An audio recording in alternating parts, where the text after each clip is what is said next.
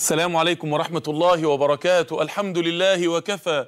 وصلاة وسلاما على عباده الذين اصطفى. اللهم صل على عبدك ونبيك وحبيبك ووليك وصفيك ورسولك وخليلك محمد صلى الله عليه وسلم. في الأولين والآخرين والملأ الأعلى إلى يوم الدين. ثم أما بعد الليلة إن شاء الله يا جماعة مع صلح الحديبية مع الفتح المبين اللي ربنا سماه الفتح المبين.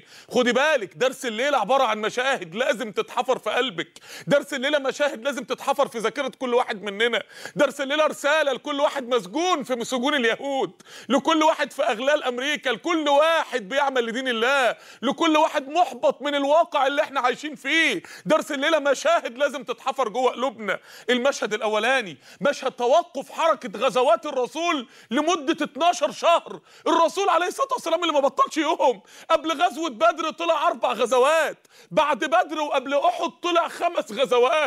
بعد أحد وقبل الخندق طلع أربع غزوات. بعد غزوة الخندق يا رسول الله تقعد 12 شهر ما تطلعش ولا غزوة. ليه؟ إيه السبب الغريب لهذا الأمر؟ السبب يا جماعة إن كان في معركة تانية أخطر وأكبر وأقوى؟ معركة المرأة معركة الحجاب. المنافقين بعد غزوة الأحزاب غيروا أسلوبهم. المنافقين بعد غزوة الأحزاب بقى أسلوبهم في غاية الخطورة. أسلوبهم مش الحرب لا. أسلوبهم نشر الشهوات. أسلوبهم إن هم يخرجوا المرأة أسلوبهم إنهم يستغلوا النساء في إفساد المجتمع وبث الشهوات. الرسول عليه الصلاة والسلام وقف الغزوات 12 شهر قبل ما يخرج للعالم من أول الحديبية عشان المرأة وعشان تحصين المجتمع من الداخل وكان أول أولويات الرسول المرأة. عشان تعرف أنت دورك غالي قد إيه؟ عشان تعرف أنت دورك في نصرة الإسلام خطير قد إيه؟ حركة الجهاد الغزوات تقف 12 شهر. عشان المرأة والنساء والإصلاح الداخلي للمجتمع. عشان نعرف يا جماعة أن معركة الشهوات لا تقل خطورة عن معركة السيف. النبي عليه الصلاة والسلام علمنا بالموضوع ده رسالة إن الوقاطم وسط الأمة الوقت هو الشهوات ومعركة الشهوات. ويبذل النبي عليه الصلاة والسلام مجهود رهيب مجهود رهيب في إصلاح المرأة. تنزل آية الحجاب يدنين عليهن من جلابيبهن وتنزل تحريم الاختلاط. فاسألوهن من وراء حجاب. وينزل الأمر بجهاد المرأة في بيتها. وقرن في بيوتكن وتخرج نماذج مبهرة. مبهرة نساء الأنصار أول ما نزلت آية الحجاب شققنا مروطهن فاعتجرنا بها. يعني امرأة ما عندهاش فلوس تشتري أصلا قماش. تقوم جايبة ثوب من أثوابها وهي ممكن ما تملكش غير ثوبين وتقطعه نصين تعمله طرح تغطي بيه راسها ووشها تخيلوا يا جماعة السيدة عائشة بعد موت النبي. كانت تدخل على قبر النبي وقبر أبو بكر. تقول إنما هو أبي وزوجي. فتتخفف من ثيابها. لما مات عمر ودفن معاها في أوضتها فضلت طول عمرها محجبة جوه البيت وبره البيت. لأن سيدنا عمر وهو ميت كان رجل أجنبي عنها. تخيلوا بتستحي من الأموات للي لا يستحوا من الأحياء. السيدة أسماء بنت أبو بكر كان بقى عندها 90 سنة. ابنها عبد الله بن الزبير جاب لها لبس كويس من الشام. فقالت له ما هذا؟ قال لها يا أماه إنه لا يشف ده لبس كويس وحجاب جميل. قالت له إن كان لا يشف فإنه يصف. تخيلوا يا جماعة ده عندها 90 سنة. بنت من بنات النبي كانت بتلبس سبع أثواب فوق بعض عشان ما فيش أي حاجة من جسدها تبان تماما على الإطلاق. نماذج رهيبة في العفاف رسالة. رسالة ليك من رسول الله صلى الله عليه وسلم يا كل متبرجة. رسالة لكل متبرجة من رسول الله. انت عارفة لو مت الوقت هتقابلوا ربنا إزاي؟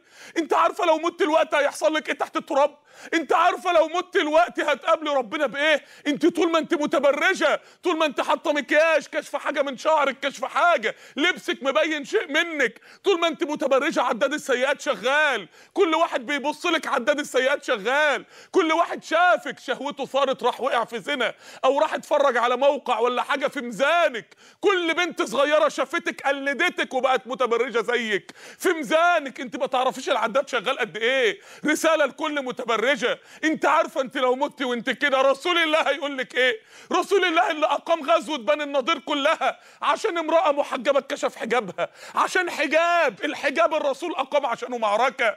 تضمن إن الرسول يقول لك لو انت متبرجة على الحوض سحقا سحقا. تستحملي الكلمة دي من رسول الله. انت عارفة يا متبرجة لو انت مت دلوقتي انت عارفة هتحصل لك إيه يوم القيامة؟ يوم القيامة والرسول عليه الصلاة والسلام بيقول يبعث كل إنسان على ما مات عليه من الثياب. اللي ماتت متبرجة تبعث بثياب التبرج عارفة يوم القيامة؟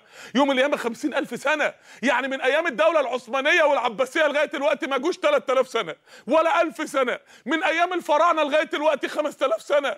خمسين ألف سنة هتقفي في الحر والعطش بسبب التبرج بتاعك ده. هتستحملوهم إزاي؟ أنت عارفة أنت لو مت الوقت كده وحكمك عند ربنا إيه؟ أيما امرأة مرت على قوم وهي متعطرة فهي زانية. زانية ليه؟ دي ما وقعتش في الزنا. بس أثارت قضية الزنا. كانت هي السبب فيه. مفيش واحدة تقول الحمد لله على التونيك اللي ساترني وعلى الاشار بالخمس ألوان اللي مغطي نص راسي. مرات أبو جهل لو كانت مشت كده في الشارع كان جوزها قتلها. مرات أبو لهب لو كانت مشت كده في الشارع كان أبو لهب عمل فيها إيه؟ اقفي قدام المراية واسألي نفسك ده يرضي ربنا. أنا خايف عليكي. أنا خايف عليكي والله العظيم. خايف عليكي من نار اوقد عليها 3000 سنة. هتستحمليها إزاي؟ خايف عليكي من نار سيدنا إبراهيم اللي اترمى في نار الدنيا. لما يشوفها يوم القيامة يقسو على ركبته ويقول نفسي نفسي. أنا خايف عليكي. قرري إنك تلبسي حجاب أمهات المؤمنين. اقفي قدام المراية وقولي يا رب أنا لبست النقاب عشانك. أنا لبست الخمار عشانك يا رب. أنا لبست النقاب عشانك وأنا واثقة إنك مش هتضيعني. هتختار لي أحسن زوج وهتختار لي أحسن حياة وهتكرمني في حياتي أعظم كرم يا رب. أنا مستنية منك أنت فضلك يا رب. يا جماعة 12 شهر تتوقف الغزوات. عشان إيه؟ عشان إصلاح المرأة عشان التحصين الداخلي للمجتمع. وأول ما المجتمع يتحصن داخليا ندخل في المشهد الثاني. الرحلة التاريخية الاستشهادية البطولية اللي الصحابة خرجوا فيها ورا رسول الله. رحلة إيه دي؟ الرسول في ذو القعدة 6 هجرية. يعلن إن خلاص كل الصحابة هيخرجوا. هنخرج فين يا رسول الله؟ مكة. مكة يا رسول الله. بعد ما سابونا إحنا اللي مش هنسيبهم. يا رسول الله طب ما نقعد نصلي ونصوم. لا الدين مش صلاة وصوم بس. الدين جهاد وتضحية ما ينفعش. يا رسول الله هنروح لهم برجلينا. والوقت في ذو القعدة في موسم الحج. العرب كلهم هناك يا رسول الله. لو مكة يا رسول الله حصل بيننا وبينها حرب هنحارب العرب كلهم. إحنا داخلين رايحين نموت مش رايحين نعتمر يا رسول الله. والمنافقين يقولوا بل ظننتم أن لن ينقلب الرسول والمؤمنون إلى اهلهم أبدا. المنافقين يشوعوا إنه خلاص محمد هيجر حتف المسلمين لحتفهم والمسلمين يبدأوا يترعبوا والمنافقين يتخلوا والأعراب يهربوا. ويثبت مع رسول الله صلى الله عليه وسلم 1400 صحابي بس.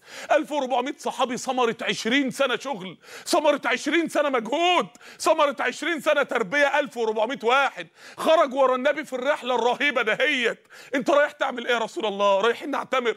بقالنا ست سنين ما شفناش الكعبة من آخر مرة طفت حواليها.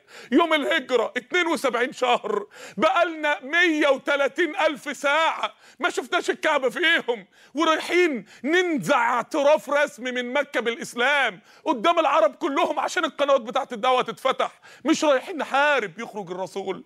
قلبه مليان شوق رهيب لبيت الله الحرام. و1400 قلب مشتعل ملتهب بالشوق لبيت الله الحرام وراه والمنافقين واقفين يودعوهم وهم بيقولوا خلاص ما هماش راجعين. ومكة تسمع إن النبي قرب إيه؟ محمد اللي كنا لسه محاصرينه من 12 شهر. محمد والجيش بتاعه جايين لغاية هنا وجروا ان هم يجوا وقدام العرب كلهم. في موسم الحج هنتذل قدام العرب هنتفضح قدام العرب قسما بالله لا يدخلوها ونحن أحياء. لن يدخلوها إلا ونحن موتى. وتخرج قريش معاها نسائها وأطفالها. علامه على إن مسألة حياة أو موت. ويخرجوا بره مكة ويبعتوا خالد بن الوليد ب 200 فارس من الفرسان لمواجهة المسلمين. يبعتوه من بعيد. ليه؟ لأن ما كانش ينفع إن الرسول يقرب من مكة. كانت هتبقى فضيحة. كارثة بالنسبة لقريش. محمد جاي يدخل يعتمر غصب عننا. محمد جاي يدخلها علينا عنوة قدام العرب كلها. بيذل مصدرنا قدام العرب لا يمكن. وتصمم قريش على الحل العسكري. الرسول أول ما يعرف عليه الصلاة والسلام إن جيش قريش جاي يغير الطريق ويطلع على الحديبية. ليه؟ ما هوش عايز حرب. الرسول رايح يعتمر عليه الصلاة والسلام. الرسول مشتاق لبيت الله الحرام. وهو في الطريق للحديبية الناقه بتاعته تبرك. الصحابة يقولوا يا رسول الله خلقت القصواء تعبت وكبرت بقى. يقول لهم والله ما خلقت وما ذاك لها بخلق ولكن حبسها حابس الفيل. دي رسالة ربانية لينا. إن إحنا ما نحاربش مكة رسالة ربانية إن إحنا نقبل الصلح. والله لا يسألوني خطة يعظمون فيها حرمات الله إلا أجبتهم إليها. الرحلة دي لازم مشهدها يتحفر في قلبك وقلبك. يا جماعة الصحابة كانوا خارجين في رحلة استشهادية. الصحابة كانوا خارجين في رحلة نسبة الموت فيها ما فيش فيها أي فصال المشهد دهوت يخلده ربنا في القرآن في سورة الفتح. الا ينقلب الرسول والمؤمنون إلى أهلهم أبدا. إنهم خرجوا. في زي ما بيسموا البشر طريق اللي رايح مش راجع. عشان ربنا سبحانه وتعالى ثقة في الله. وندخل في المشهد الثالث بيعة الموت. الرسول لما يلاقي مكة اتكبرت ومش راضية تبعت له حد يبعت لها واحد بالجمل بتاع النبي عليه الصلاة والسلام يشاورها. يقتلوا الناقه بتاعت النبي ويجي الصحابي للنبي هربان. يبعت عثمان بن عفان النبي مش عايز يحارب. عثمان يتأخر. الصحابة يبدأ الجو يتكهرب وسطهم. هم قتلوه ولا إيه؟ هم قتلوا عثمان وتطلع إشاعة. عثمان قتل. مكة اختارت الدم. مكة اختارت خلاص الحرب. مكة اختارت إنها هتحاربنا. العرب كلهم هيدخلوا مع مكة. يعني إحنا هنتقتل ولا إيه؟ المنافقين الكلام اللي قالوه هيطلع مظبوط. يعني إحنا هنتقتل هنا. هندخل نحارب العرب كلهم ب 1400 واحد إزاي؟ وإحنا جايين نعتبر معناش تسليح معركة خالص. إزاي؟ إزاي ان إحنا ندخل نحارب العرب بالمنظر ده ويحصل كهرباء رهيبة في الجو ويقف رسول الله صلى الله عليه وسلم تحت شجرة الرضوان يمد ايده يصافح صحابي صحابي من ال 1400 صحابي بيعة على الموت يبايعوا رسول الله على الموت عشان أخوهم اللي أشيعوا إنه اتقتل. الصحابة خارجين لعمرة ماشي بقت معركة ماشي اتباع رهيب. منظر 1400 صحابي بيبايعوا النبي على الموت عشان واحد. ما بيفكركوش بالبرود اللي إحنا فيه وإحنا قاعدين الوقت بنتكلم ونسمع وإخواننا في سجون اليهود وإحنا ما بنتحركش. مشهد مشهد النبي عليه الصلاة والسلام لما خرج غزوة كاملة غزوة مؤتة تحارب 200 ألف واحد من الروم. الدولة العظمى اللي زي أمريكا عشان واحد عشان الحارث بن عمير الأزدي قتلوه. واحد مسلم. لما كان الإسلام غالي في قلوبنا كان دم المسلمين غالي. الرسول أقام بني النضير غزوة كاملة عشان امرأة مسلمة اتقتلت؟ لا. اغتصبت؟ لا. بطنها اتشقت وطلعوا الجنين وحطوا قطة مكانها. لا. جوزها حطوه في خلاطه الاسمنت وفرموه قدام عينيها. لا. جوزها واولادها اتقتلوا قدامها. لا. سجنوها في أبو غريب واغتصبوها. لا. أمال إيه؟ أهانوها. شدوا الحجاب من على رأسها. بس عشان مسلمة. شفتوا المسلم كان غالي إزاي؟ شفتوا دم المسلم كان غالي إزاي؟ والوقت بيعه على الموت من 1400 واحد عشان مسلم واحد. وينزل القرآن يخلد الموقف في قول الله سبحانه وتعالى. لقد رضي الله عن المؤمنين. رضيت عننا يا رب. أخيرا يا رب بعد عشرين سنة جهت فزنا برضاك يا رب. أخيرا يا رب فزنا بأعظم منحة في الدنيا. إذ يبايعونك تحت الشجرة. ربنا يخلد مشهد الشجرة والصحابة والإيد في الإيد. ليه؟ عشان ربنا يريد إن المشهد يتحفر جوه قلبك. يريد إن المشهد يتحفر في قلوبنا. ربنا بيريد إن المشهد يتحفر جوه ذاكرتنا. إذ يبايعونك تحت الشجرة. شايفين التصوير؟ فعلم ما في قلوبهم. إن ربنا أغلى عليهم من حياتهم. إن أخوهم أغلى عليهم من روحهم. إن الإسلام أغلى عليهم من حياتهم إنهم أصحاب رسالة. فأنزل السكينة عليهم. سكينة دول ناس هيواجهوا العرب كلها. ربنا ينزل الاطمئنان والثقة على قلوبهم. وأثابهم فتحا قريبا اللي هو فتح خيبر اللي أول مرة المسلمين هيشبعهم بعد سبع سنين وست سنين في المدينة. ومغانم كثيرة يأخذونها مغ- مغانم خيبر.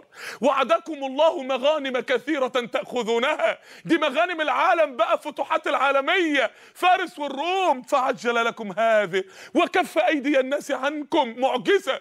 معجزة أن رد الفعل اللي كان متوقع أن يبقوا قتل ودم. معجزة أن العرب يسيبوا المسلمين في الوضع ده. وكف أيدي الناس عنكم. ولتكون آية للمؤمنين.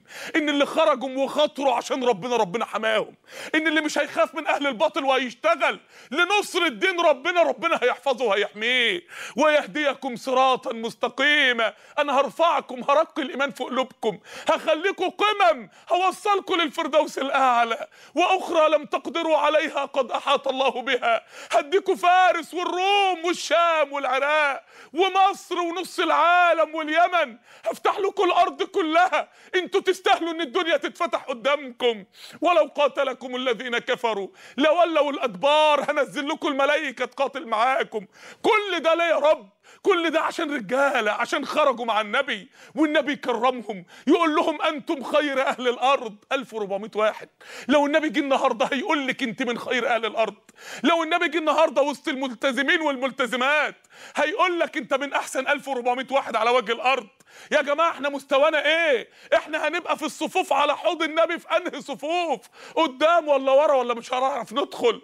والرسول عليه الصلاة والسلام يقول لا يدخل الجنة من شهد بدرا والحديبية مشهد رهيب مشهد بعت الموت مشهد الإيد في إيد رسول الله ويد الله فوق أيديهم وجبريل ينزل من سبع سماوات يشهد البيعة بيع على الموت. بقى معانا 1400 راجل مستعدين يموتوا عشان دينك يا رب. بقى معانا 1400 راجل مستعدين يموتوا عشان دم أخوهم ما يراقش. خلاص خلاص يا جماعة ما دام العقيده وصلت للدرجة ديت يبقى الفتح المبين جاي وفعلا جه وفعلا جه المشهد اللي جاي. مشهد الصلح التاريخي. الصلح التاريخي لأول مرة مكة هتعترف رسميا بالدولة الإسلامية. زي ما أمريكا الوقت تعترف بدولة من الدول العالم كله يعرف إن لها حساب ولها قوة ويفتح ابوابه لسفاراتها الوقت خلاص يا جماعة هننتزع اعتراف رسمي.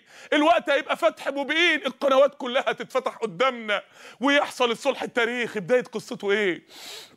لما قريش شافت ده ناس هيبايعوا على الموت هتقف لهم تعمل إيه؟ بعتت لهم العرب بقى يبدأوا يتفاوضوا معاهم. قريش متكبرة مش مش راضية تروح هي. يبعتوا ناس من خزاعة. يروح بتاع خزاعة الأول يكلم النبي عليه الصلاة والسلام. يقول له يا, يا محمد يعني يعني قريش مش ناوية تسكت ما تعتقدش إن الموضوع سهل. رسول الله صلى الله عليه وسلم يقول له ما جئنا إلا للعمرة والهدي أهو. الأغنام اللي هنذبحها عند الكعبة أهو. إحنا مش جايين نعمل حاجة. الرسول يحاول يفهمه. الرسول كسب كل الأطراف في المعركة ديت. يقول له طب لو لو مكة ما رضتش هتعملوا إيه؟ هنقاتل. مش هنرجع. وكان أول زلزال يزلزل مكة. إنها تعرف إن النبي مش ناوي يرجع. لما يرجع لها رئيس وفد خزاعة ويبدأ يشتم في مكة ويقول لهم لماذا تمنعون عباد الله من بيت الله؟ إيه ده؟ هو محمد قلب الترابيزة علينا ولا إيه؟ يبدأ الزلزال يحصل. أول زلزال. يبداوا يقلقوا يتوتروا الضغط يزيد. هنعمل إيه؟ والله لا يدخلها علينا عنوة. ولا تتحدث العرب بهذا. ابعتوا حد تاني. نبعت مين؟ عروة بن مسعود الثقفي من ثقيف يروح عروة للنبي عليه الصلاة والسلام. يبدأ يحاول يحطم النبي عليه الصلاة والسلام نفسيا استغفر الله العظيم. إزاي؟ يبدأ يحاول يفاوض النبي بحرب معنوية يقول له يا رسول الله يا محمد المشركين أقوياء جدا والعرب وراهم وشوية ال- الأخلاط اللي أنت جامعهم من العرب دول مش هيقفوا وراك ولن يصبروا وراءك.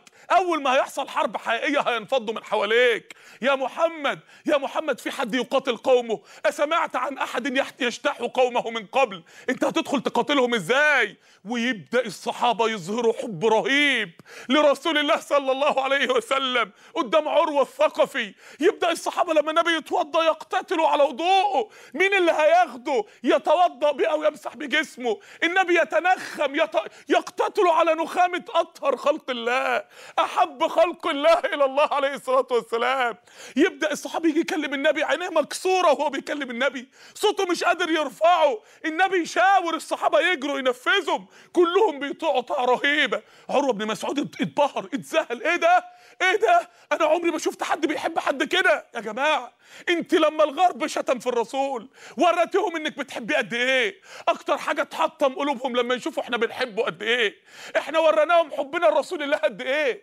إحنا اثبتنا لهم عمليا حبنا للرسول قد إيه؟ ده أكتر حاجة بتزلزلهم. يرجع عروة بن مسعود لقريش متزلزل. يقول لهم يا قوم لقد وردت على الملوك وكسرى وقيصر والنجاشي. والله ما رأيت احدا يحب احدا ويعظمه كحب أصحاب محمد لمحمد. أنتوا بتكلموا مين؟ والله لا يسلموه أبدا. دول هيعملوا أي حاجة. لو أمرهم بأي حاجة أنتوا اتجننتم. أبو سفيان يتزلزل قلبه. منظر خبيب بن عدي. لما أبو سفيان علقوا على النخلة قبل بعد غزوة أحد. لما قبضوا عليه وعلقوه على نخلة في مكة في التنعيم. وقعدوا يضربوه بالسهام يقطعوا ايديه ورجليه. وبعد كده أبو سفيان قرب منه. وقال له يا خبيب أتحب أنك في أهلك وبيتك؟ ومحمد مكانك مصلوب على النخلة مكانك.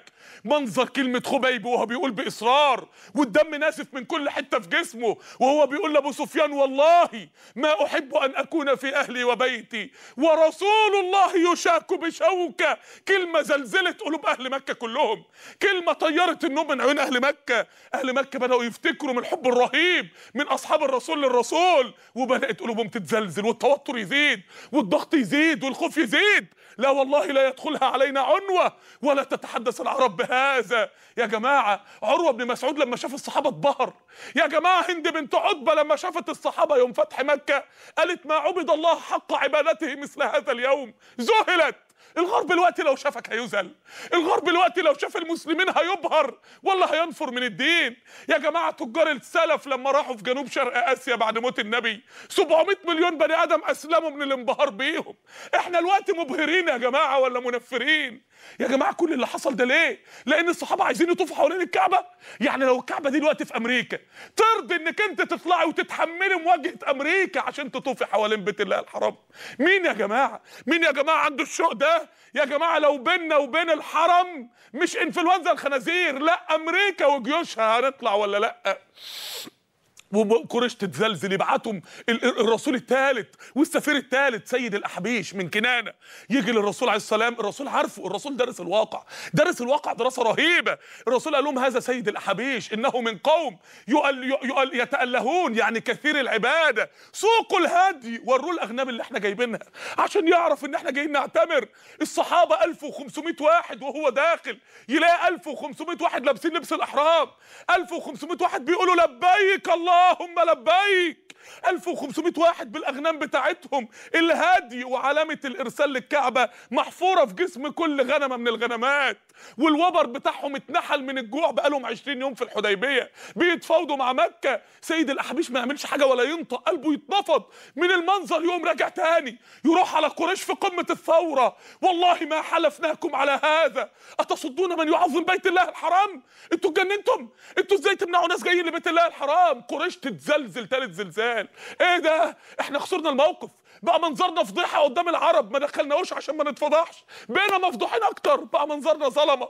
محمد كسب المعركة الإعلامية من الجميع. وبعد مفاوضات يبعتوا له آخر واحد سهيل بن عمرو. دي المفاوضة السبعه يا جماعة. ده الجولة السبعه في المفاوضة. ليه؟ كل ده عشان إيه؟ دول 1400 واحد. بس قريش عارفاهم. عارفة المسلمين أشداء قد إيه؟ يبعتوا سهيل بن عمرو. أول ما الرسول عليه الصلاة والسلام يشوفه يقول سهل أمركم بس خلاص والله ما ارسلوا إلا وهم يريدوا الصلح. تعال بقى يا سهيل بن عمرو. الرسول يقعد والصحابة ملفوفين حواليه ويبدأ يتكلم مع سهيل نتصالح نتصالح. إيه الشروط بتاعتكم يا سهيل؟ نكتب نكتب. يلا يا علي يا ابن أبي طالب اكتب. بسم الله الرحمن الرحيم. إيه؟ الرحمن الرحيم؟ مين الرحمن الرحيم؟ ما نعرفش حاجة اسمها الرحمن الرحيم. اسم الله الجليل العظيم. مفيش حاجة اسمها بسم الله الرحيم. امسح امسح يا محمد. سيدنا علي هيتجنن. امسح يا رسول الله.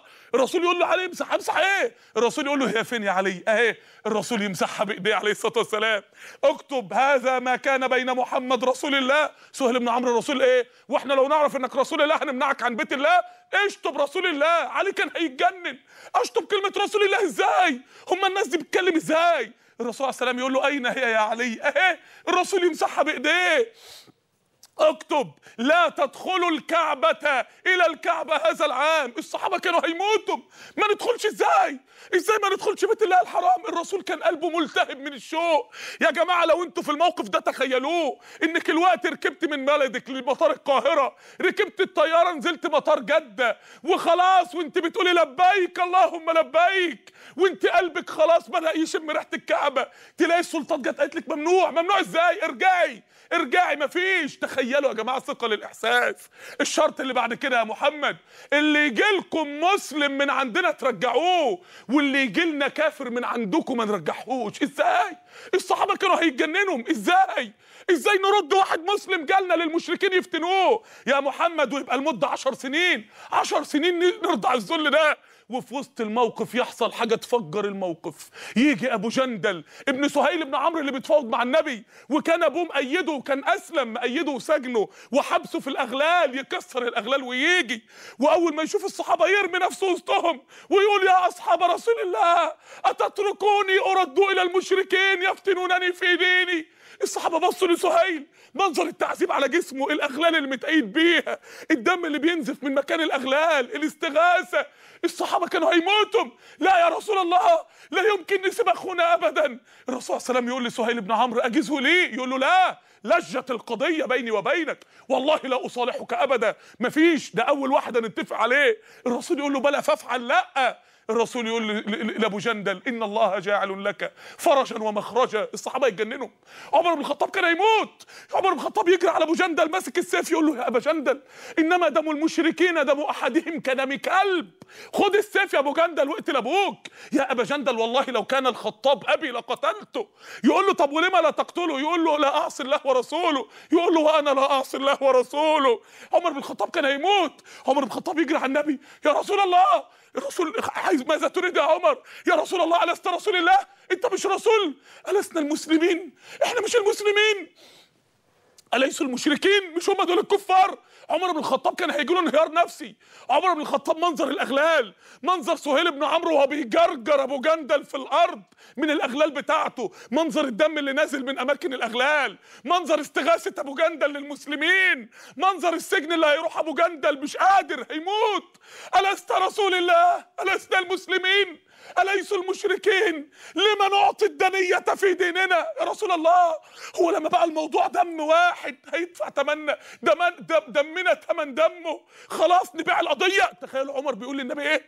عمر قال للنبي كلام يدل إن عمر ما كانش واعي هو بيقول إيه. عمر يا جماعة كان وصل لدرجة من الانفعال مش قادر. يا رسول الله لما نعطي الدنية حد يقول للنبي لما نعطي الدنية؟ النبي يعطي الدنية. يا رسول الله يا رسول الله ولما بقى الموضوع تمنه دمنا تراجعنا يا رسول الله. الرسول عليه السلام يصبره يقول يا رسول الله ألم تخبرنا أن آتينا البيت الحرام ومطوفين به؟ إحنا مش قلت لها هتطوف حوالين البيت الحرام يا رسول الله؟ الرسول يقول له أو أخبرتك أنه العام؟ لا فإنك آتيه ومطوف به. عمر هيتجنن يا جماعة. عمر مش قادر. عمر طلع على أبو بكر يا أبا بكر. ألسنا المسلمين يا أبا بكر؟ أليسوا المشركين؟ مش إحنا الحق يا أبو بكر؟ مش ربنا معانا. نخاف ليه؟ أليس رسول الله؟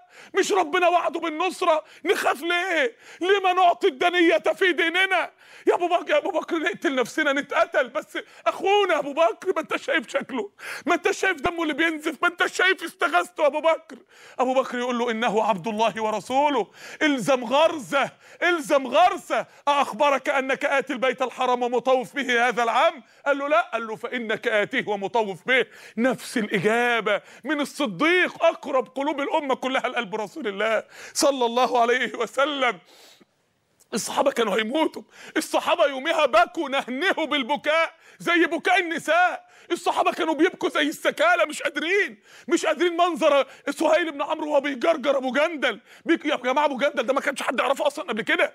يعني مش مش مش عمر واتحبس. ده واحد معظمهم عمره ما سمع عنه بس الإسلام الرابطة الدين الدم اللي عمره ما يبقى مية. الصحابة بقوا بي بي بي دموعهم بتنهمر من البكاء والنشيج بين ايدين رسول الله. لما جم يحلقوا لبعضهم بعد الموقف ده كانوا هيذبحوا بعض هيطروا رقبة بعض. من كتر الهم سهل بن حنيف بعد 40 سنة يوم معركة الجمل وقف ينادي الصحابة قبل ما يحصل الحرب يقول لهم يا أصحاب رسول الله لقد رأيتنا يوم أبي جندل سماه يوم أبو جندل من كتر ما اتحفر في قلوبهم. ولو استطعنا أن نرد على رسول الله امرا لرددناه. لو كنا نقدر نقول لمحمد بن عبد الله لا كنا قلناها بس ما قدرناش نقول له لا. تخيلوا الصحابة وصلوا لدرجة إيه؟ الصحابة راحوا للنبي يصرخوا يا رسول الله نتقتل يا رسول الله بس أخونا ما يحصلش فيه كده. يا رسول الله مش هنقدر نقبل إن أخونا يحصل له كده. نقبل ده إزاي؟ ما انتش يا رسول الله. منظر الأغلال. قلب النبي عليه الصلاة والسلام كان بيتقطع كان بيتمزق. ولكن اعتراف رسمي بأمة الإسلام وخلاص اتعاهدنا. انتهت القضية ده وفاء بالعهد. يا جماعة اوعوا تنسوا إن في يوم من الأيام الدين حصل له كده. إن هذا الدين لا ولن يموت. ولو قدر له أن يموت لمات يوم مات محمد بن عبد الله. ولو قدر له أن يموت لمات يوم ارتدت جزيرة العرب. ولم تقم صلاة الجمعة إلا في أربع مساجد. وقال الصحابة لابو بكر يا أبا بكر الزم بيتك واعبد ربك. إنه لا طاقة لنا بحرب العرب جميعا. وفي سنتين كانت جيوش المسلمين قتل المرتدين. وجزيرة العرب تحت سيطرة الإسلام. إن هذا الدين لا ولن يموت. ولو قدر له أن يموت. لمات يوم جاءت سبع حملات صليبية شرسة. تسعين ألف مسلم اتقتلوا وهم داخلين القدس. ركب الخيول غاصت في الدماء. الأقصى اتعلق عليه الصليب. بيت المقدس قبة الصخرة اتعلق عليها الصليب. المساجد بقت اسطبلات وكنايس. الأطفال المسلمين خدوهم. أطفال المسلمين شووهم وكلوا لحمهم مشوي. الشوارع كلها بقت دم. المسجد الأقصى اتملى جثث. اللي راحوا يلوذوا بيه. سبع حملات صليبية وبعد 91 سنة يجي صلاح الدين الأيوبي يحطم الصليبيين في 52 معركة ويرتفع أذان صلاة الجمعة بعد 91 غياب من المسجد الأقصى. إن هذا الدين لا ولن يموت ولو قدر له أن يموت. لمات يوم جاء التتار قعدوا شهر كامل يقتلوا في المسلمين. جماجم المسلمين بقت قد الجبل يا جماعة. قد الجبل شهر كامل بيقتلوا في المسلمين. قتلوا ألف ألف مسلم وفي رواية ألفين ألف مسلم اتنين مليون. والخليفة حطوه في شوال وقتلوه ضربا بالأحذية. يا أمة محمد اوعوا تيأسوا يا أمة محمد شايفين موقف أبو جندل واتغيرت الأيام. وفي خلال ثلاث سنين يا رسول الله جزيرة العرب كلها تبقى مسلمة. في خلال ثلاث سنين يا رسول الله الفتح المبين هيملى جزيرة العرب. يا جماعة اوعوا تيأسوا اوعوا اللي يسمع الوقت إن في 500 امرأة في سجون اليهود ما ييأسش اللي يسمع الوقت إن 80% من لاجئي ومشرد العالم اللي التنصير بينهشهم من المسلمين ما ييأسش. اللي يشوف الوقت الخمر والمخدرات في بلادنا. بقت home delivery ما ييأسش اللي يشوف الوقت إن ساعة ال PlayStation بقت أحب إلى الشباب مما طلعت عليه الشمس وغربت. وحب إيه؟ وحبب إلى شبابنا من دنياه الشات والمكالمات وال والموبايلات ما ييأسش كل ده هيتغير. كل ده هيتغسل. الواقع الرهيب ده هيتمسح. الدين جاي يا جماعة. النصر جاي. ويخلد ربنا الموقف في القرآن. وينزل قول الله سبحانه وتعالى محمد رسول الله والذين معه اللي معاه اللي سبته معاه اللي لما قال لما قال أخرج خرجوا معاه ولما قال بيعة على الموت بيعوا معاه ولما قال نرجع رجعوا معاه اللي مع الرسول في الأزمات اللي مع الدين في الشدائد اللي معاه أنت معاه أنت معاه أنتوا فين؟ أنتوا فين؟ أنتوا فين يا مسلمين؟ الواحد لما بيمشي في الشارع فين يا جماعة؟ فين الغيورين على الدين؟ أنتوا فين؟ لا إحنا شايفينك وسط الدعاء ولا إحنا شايفينك مكسر الدنيا في الدعوة في مكانك وشغلك ودراستك ولا إحنا شايفينك بتطلب علم عشان تبقى عالم من علماء الإسلام ولا إحنا شايفينك في في النشاط الخيري وتوصيل الصدقات للفقراء ولا شفناك أيام غسه بتوصل لهم أي معونات ولا شوف ما إحنا شايفينك انت فين؟ ما إحنا شايفينك بتحارب التنصير ولا شايفينك بتحارب العلمانيين ولا شايفينك بتهتف بتهتف وسط الناس بالتوبة إلى الله. أنت فين؟ أنت فين؟ أنتوا بتعملوا إيه؟ ده دينكم يا جماعة اللي بيطعن الوقت ده دينكم. اللي مسجونة في سجون اليهود دي أختك. اللي مسجون في سجون الأمريكان ده أخوك اخوانا الصحابة كانوا هيتقتلوا عشان مسلم واحد. مسلم واحد الدم بقى مية إزاي؟ والذين معه أشداء على الكفار. حتى لو ابوهم وأخوهم. رحماء بينهم لدرجة يموتوا بعض حبا في بعض. يموتوا عشان واحد بس منهم حبا في بعض. تراهم ركعا سجدا عبادة على طول. يبتغون فضلا من الله ورضوانا. كل قضيتهم رضاك يا رب. رضاك يا رب والوصول لربنا سبحانه وتعالى. ويخلد ربنا المشهد يا جماعة. ويجي ويجي ال- ال- البطولات رهيبة من مش القريش قالت اللي مسلم من عندنا ما يجيلكش. طيب أنا ماليش دعوة بيهم الرسول ماليش دعوة بيهم. شوفوا هم عملوا إيه. أبو جندل يهرب مع واحد اسمه أبو بصير ويطاردوا تجارات قريش على على الس... على جنب البحر الأحمر ويقطعوا على قريش تجارتها لغاية ما قريش تستغيث بالنبي. إنه ياخدهم وخلاص شايفين الفرج. وتطلع أم كلثوم بنت عقبة بن ابي معيط البنت الصغيرة اللي أسلمت ولكن أبوها عقبة بن ابي معيط اللي حاول يقتل النبي في الحرم. ما تقدرش تكتم خبر إسلامها. أبوها يتقتل في بدر. إخواتها الاثنين الوليد وعمارة يحاولوا يجوزوها. ما ترضاش ومحدش عارف السبب إيه. قدامها تتجوز أغنى واحد في مكة وأحسن واحد في مكة. ما ترضاش. لغاية ما يجي صلح الحديبية. ما عادتش قادرة تكتم خبر إسلامها. هتعمل إيه؟ ده ده, ده 10 سنين مدة العهد. وتقرر إنها تهاجر. هتهاجر لوحدك لوحدي. طب ولو رجعوك هتتقتلي اتقتل وتسيبي وأمك وبلدك ووطنك وإخواتك. ده أنت لسه بنت صغيرة. ده أنت المستقبل قدامك. ده أنت بنت أغنى الناس. ده أنت من علية القوم. ده أنت أي عريس يتمناكي. ما بتحلميش بفارس الأحلام. وتهاجر أم كلثوم لوحدها. وتنزل سوره الممتحنة. ربنا يقول للنبي فيها فلا ترجعوهن. اوعوا ترجعوها. حتى لو قامت حرب على مستوى الجزيرة كلها. عشان امرأة واحدة يا رب. عشان واحدة تقوم حرب كاملة. عشان كان المسلم غالي كان الإيمان غالي كانت عملة الإيمان غالية. ويثبت قدام قريش إن منع المهاجرين. مستحيل يا جماعة. وكده وصلنا للسبب اللي ربنا سمى عشانه. صلح الحديبية فتح مبين. فتح. فتح دعوي عدوا معايا فتح دعوي العالم كله اتفتح. الناس كلها عايزة تسمع القنوات كلها اتفتحت. الرسول بعت يجيب المسلمين بتوع الحبشة اللي بقالهم 14 سنة مهاجرين. تعالوا تعالوا تاني. مهمتكم جت خلاص. أنتوا دعاء الدعوة اتفتحت الوقت. يلا تعالوا. كنتوا قبل كده كانت مهام جهادية ما كناش محتاجين لكم. كان معانا رجالة. الوقت محتاجين كل داعية. ويجي معاهم الأشعريين في فرح رهيب. والرسول عليه السلام يبعت لكل قبائل العرب يعرف كل قبائل العرب بالإسلام لأول مرة بيسمعونا لأول مرة ما بيطردوناش لأول مرة مش هيقوم الصحابي يكلمهم يطعنوه زي حرام بن ملحان يقتلوه وهو بيكلمهم. الرسول يبعت لملوك العالم ملوك العالم كلها ملوك الفرس والروم ومصر. تخيلوا يا جماعة العز اللي بقينا فيه. ما إحنا بقى معانا ناس مستعدية بتبايع على الموت خلاص. يبعت للمقوقس حاكم مصر يبعت له ماريا القبطية هدية ويبعت له بغلة حمار كده صغير اسمه دلدل. حمار مصري أصيل. جاهد مع النبي في الغزوات بعد كده. حمار مصر أي حاجة من ريحة مصر يا رسول الله. أي حاجة نتشرف بيها بسيرتك يا حبيب الله ويب- ويبعت لملوك العالم ويبقى الإسلام دعوة عالمية. والملوك كلها تسمع بعزة الإسلام. ويبعت لقيادات قريش يبعت لخالد بن الوليد. مثلك لا يجهل الإسلام. وفي يوم واحد يسلم ثلاثة من أفلاذ أكباد قريش. خالد. وعمرو وعثمان بن طلحة اللي ماسك مفتاح الكعبة. الثلاثه أفلاذ أكباد. مكة يجوا بعد ما كان عمرو هيعمل لجوء سياسي للحبشة وخالد كان هينتحر كان هيقتل نفسه يلاقي رسالة النبي جاياله يروحوا للنبي يسلمهم. النبي يفرح يقول مكة ألقت إليكم أفلاذ أكبادها. الوقت أمريكا اللي بتاخد أفلاذ عقول العالم. الوقت العباقرة من العرب بيروحوا هناك ياخدوا نوبل. وال femtosecond هم اللي ياخدوها يجوا يضربونا بيها. في حرب العراق. الوقت بقت الأمة بدون هدف يا رسول الله. كنت بتسخر طاقات الأمة للدين. الوقت يا رسول الله الملياردير العربي عمل فنجان قهوة الراقصة بال... بال... بالورق بالورق بورق الفلوس يا رسول الله. الوقت بقينا أمة بدون هدف يا رسول الله. الفتح بدأ يجي يا جماعة. القنوات الدعوة انتشر الإسلام في العرب انتشار رهيب.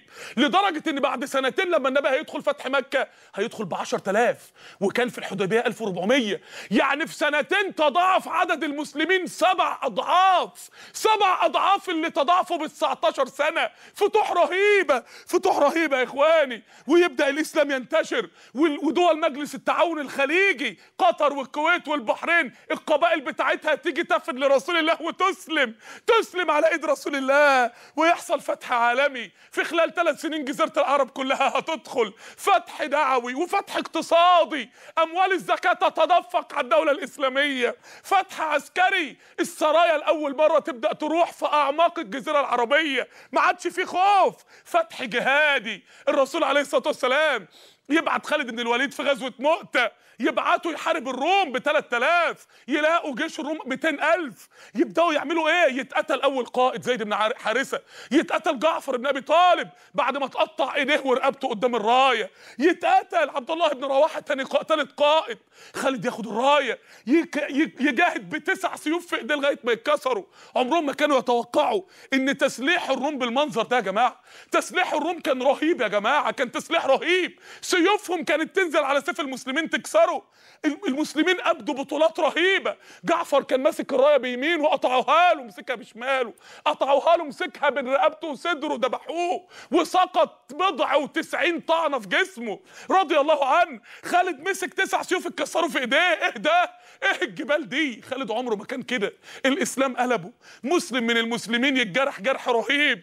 وهو بيمرض في الخيمة يسمع صوت المعركة. يقول وأنت في الدنيا؟ وانت في الدنيا الإسلام يحصل له كده يقوم يقاتل حتى يقتل. والأول مرة الروم يشوفوا إيه الاسود دي إيه الجبال دي؟ خالد بن الوليد يعرف يعمل خطة للانسحاب. يجيب الميمنة مكان الميسرة والميسرة مكان الميمنة والقلب مكان المؤخرة والمؤخرة مكان القلب الروم يحسبوا إنه جيش جديد خالص. وبعد كده يخلي ناس ورا يقعدوا يسيروا التراب يحسبوا إن لسه في مدد جاي كمان وبالليل ينسحب يسيبوهم. ويرجع لرسول الله صلى الله عليه وسلم. الأسود الصغيرة الأطفال تجري ورا الأسود الكبيرة. تقول لهم يا فرار الرسول يقول بل هم الكرار. وبعد أيام يطلع غزوة ذات السلاسل أو ذات السلاسل ايا ما كان النطقين يطلع غزوة ذات السلاسل بقياده عمرو بن العاص. خلاص يا جماعة فتوح فتوح. فتح مكة نفسه لسه له سنتين. فتح خيبر اليهود هيتحطموا فتح إن المنافقين اتدمروا. الضربه القاضيه كانت صلح الحديبية. كان فتح مبين. الرسول عليه الصلاة والسلام لما فتح العالم قدامنا لقى رجالة تشيل الدين. الوقت لو العالم فتح قدامنا مين اللي يشيل الدين؟ ما العالم مفتوح أهو. مين اللي يجري يدعو الناس للإسلام؟ الرسول جانا ثمرة 13 سنة تربية في مكة. لقى رجالة باعت عمرها ولفت ليل نهار في الأرض تنشر الدعوة إلى الله سبحانه وتعالى.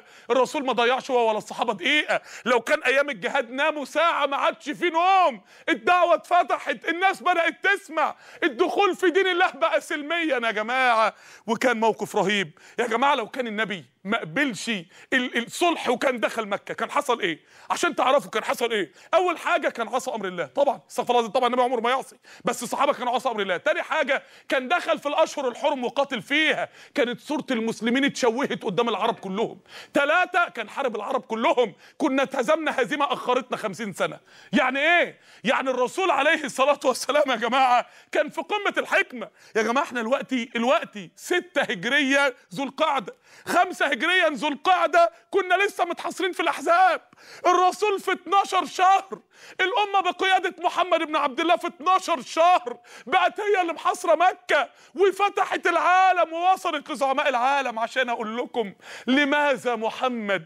عشان لما أقول لكم الوقت الشعار بتاعنا لماذا محمد؟ هو الوحيد اللي يقدر يقود الأمة. لازم نمشي وراه لازم نتبعه. زي ما الصحابة خرجوا وراه عمرة ماشي عمرة. لا ده بايع على الموت ماشي. لا نرجع ماشي. سمعوا وأطاعوا وكانت النتيجة النصر المبين سنة خمسة هجريا كان نازل سورة الأحزاب. اللي مليانة مآسي. محمد.